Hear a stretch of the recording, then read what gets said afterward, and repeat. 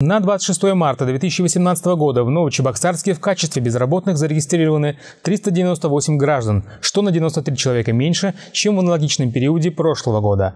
С начала года при содействии Центра занятости населения трудоустроены 852 человека. 176 работодателей заявили потребность в работниках в количестве 740 вакансий. К наиболее востребованным должностям, служащим и рабочим профессиям относятся медицинская сестра, водитель автомобиля, овощевод, кондуктор, водитель троллейбуса, обрубщик, слесарь-ремонтник, продавец продовольственных товаров, инспектор отдела режима и охраны, арматурщик, врач-педиатр, электромонтер и другие.